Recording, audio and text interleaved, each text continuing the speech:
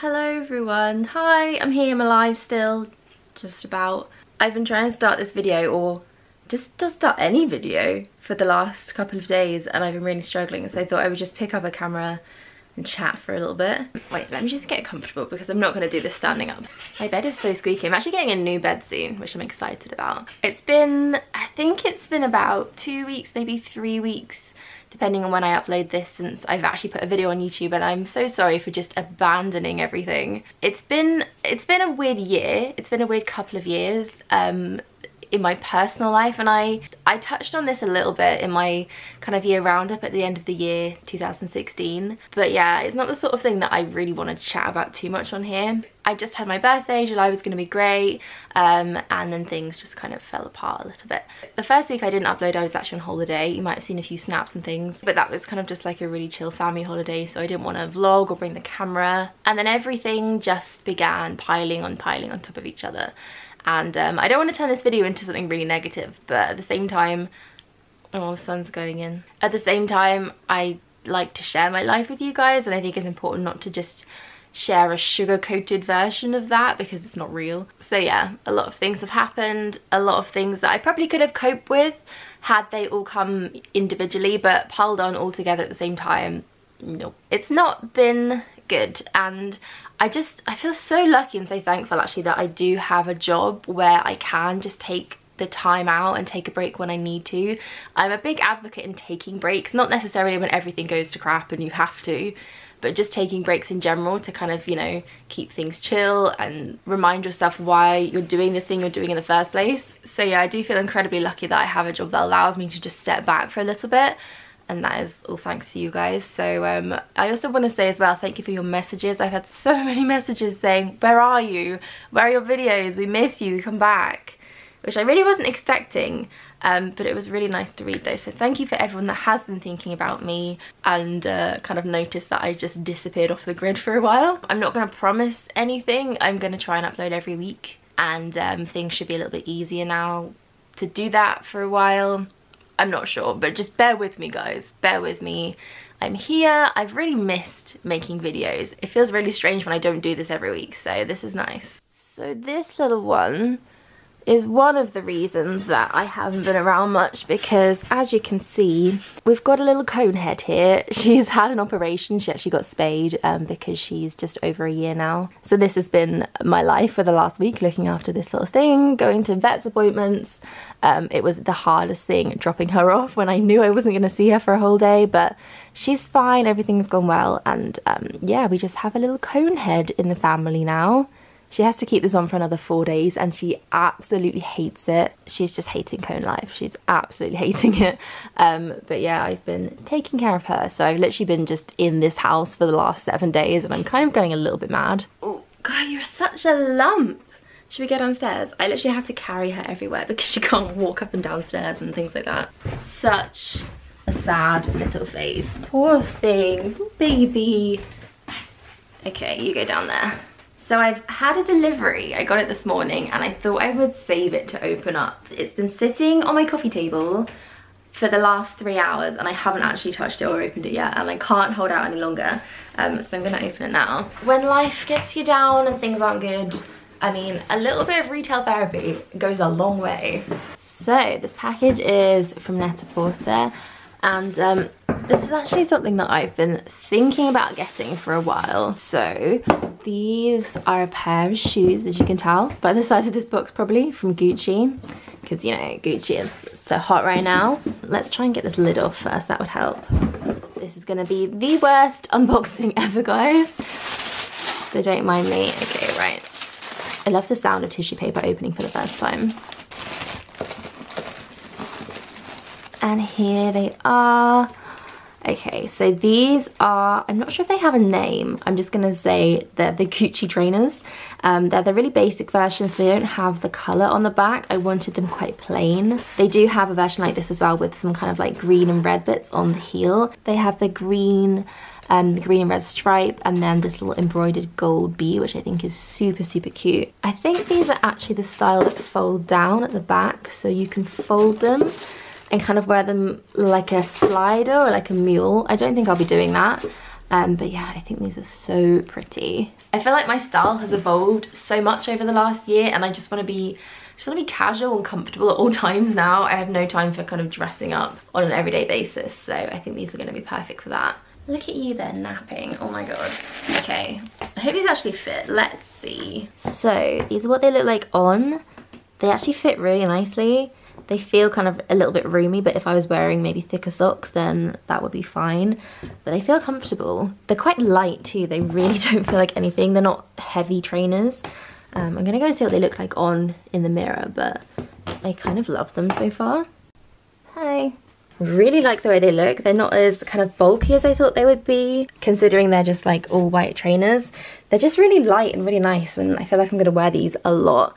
I maybe could have gone one size down in these. As I was running up the stairs, I kind of felt them slipping off just a little bit at the back. So I maybe could have sized down half a size. But then I think once I'm wearing socks and everything, that should be fine. Unless they stretch out. Hmm, not sure. Maybe I should get a slightly smaller pair. I want to just try them on as well with the backs down just to see what that looks like. You know what? I don't actually hate it like this, but I do not think I'll be wearing them like that. I feel like it will kind of ruin the backs a bit if I do. Um, so I think I'll just stick to wearing them normally. Hey guys, so it's Wednesday now. Um, it's so early and the moon won't stop working and... Uh, so I'm actually going to get my hair done today um, because I haven't had it cut for a while and it's grown really long. She just won't stop barking. That dog? I'm really struggling to decide what to wear because it's it's still like morning grey, you know, it's grey in the morning, you don't know what the weather's gonna be like. So I don't know if I should wear a jacket, but basically I'm wearing this shirt. This is from M&S of all places. It's like a really nice slouchy oversized linen shirt.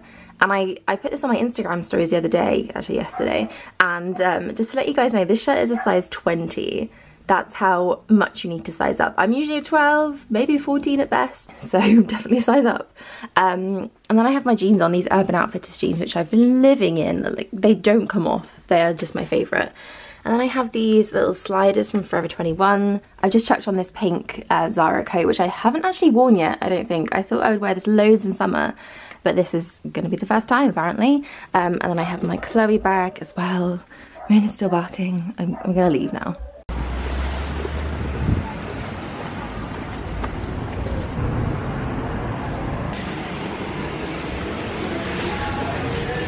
So we're trying to pick a colour for my hair. This is what I love, like everything cool toned, nothing warm. And then Josh is thinking, that's brown, that is warm brown. Not sure guys. I like this one, it's got pink in it. Let's see. So this is the before.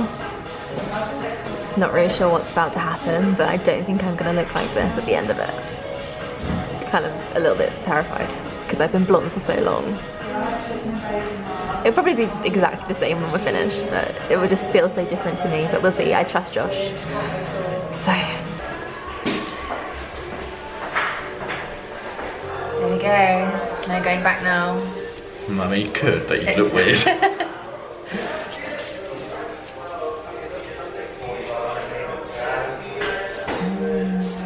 laying down in a basin is not a flattering angle whatsoever. It's no one's angle. Step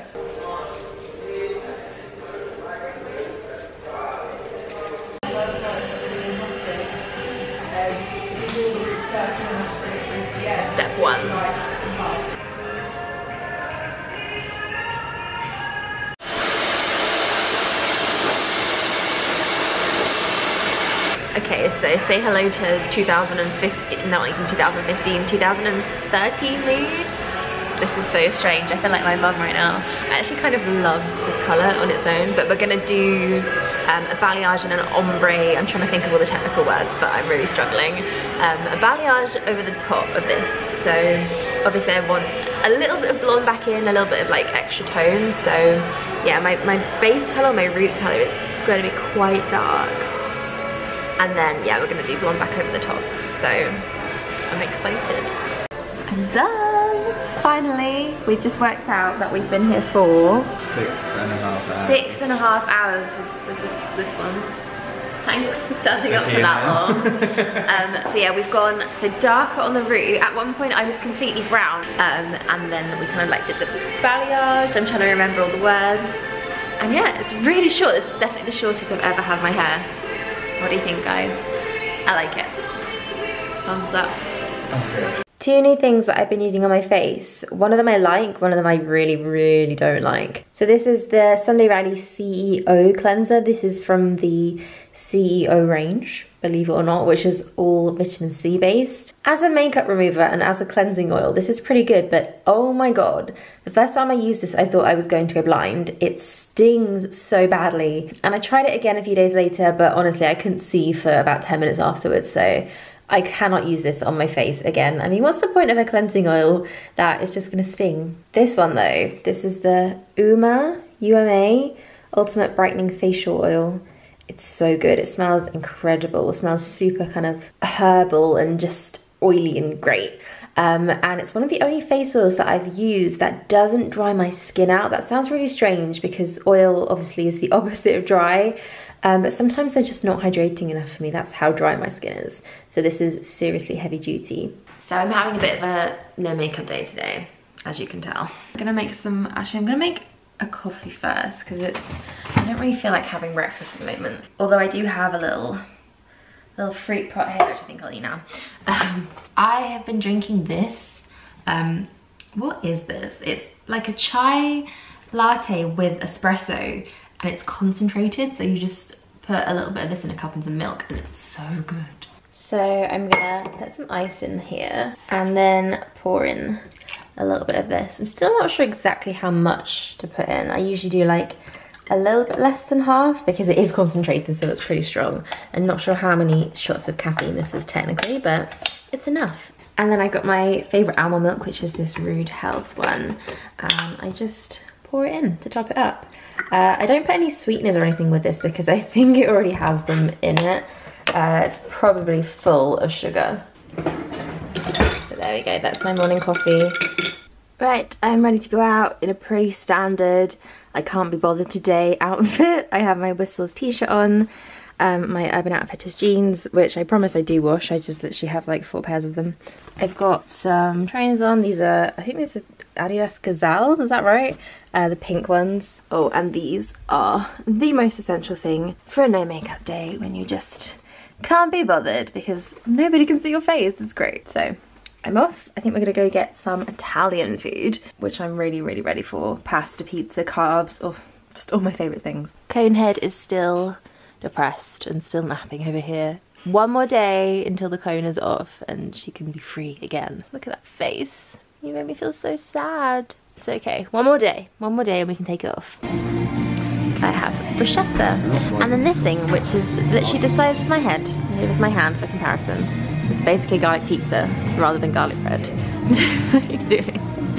Um, but yeah, looking forward to eating this. So I've um, just edited the vlog that you're watching now and I can honestly say this may win the award or at least get shortlisted for most disinteresting and all over the place vlog ever. I don't really, I think I've forgotten how to do this whole thing.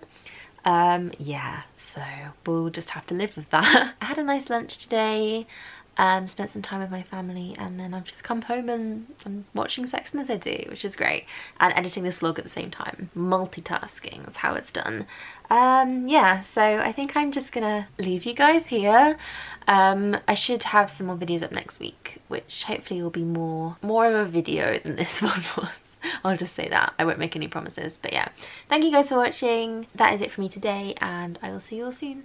Bye.